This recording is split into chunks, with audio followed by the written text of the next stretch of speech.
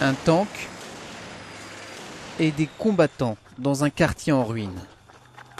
La scène se déroulerait à Rive Dimashq, dans la banlieue de Damas. Les hommes que l'on voit à l'écran disent appartenir à la Brigade des Martyrs de l'Islam, un groupe rebelle opposé au régime de Bachar el-Assad et opérant dans le sud de la Syrie. Après la mainmise de l'organisation de l'État islamique sur les régions du nord et de l'est, le sud reste la seule partie du pays où les rebelles auraient réussi à s'implanter durablement. Leur objectif, désormais, rassembler les différentes factions pour contrer l'avancée des djihadistes d'un côté et les militaires du régime de l'autre, deux ennemis totalement différents. Tout cela pour attirer l'attention des Occidentaux et de plusieurs pays arabes à la recherche de troupes au sol déjà présentes en Syrie.